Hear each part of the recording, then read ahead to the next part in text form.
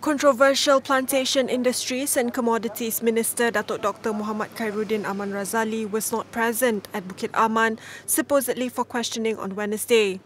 It is learned that Dr. Khairuddin was in Malacca for official duties. He is likely to be questioned by the police on Thursday instead.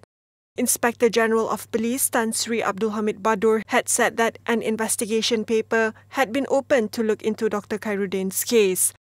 The minister flouted the mandatory 14 day home quarantine order after his return from a trip to Turkey on June 7. He has been slapped with a 1,000 ringgit compound which he had paid.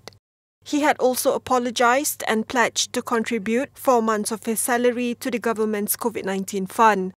However, many viewed that Dr. Khairuddin got off lightly compared to ordinary people who had also flouted the quarantine rule.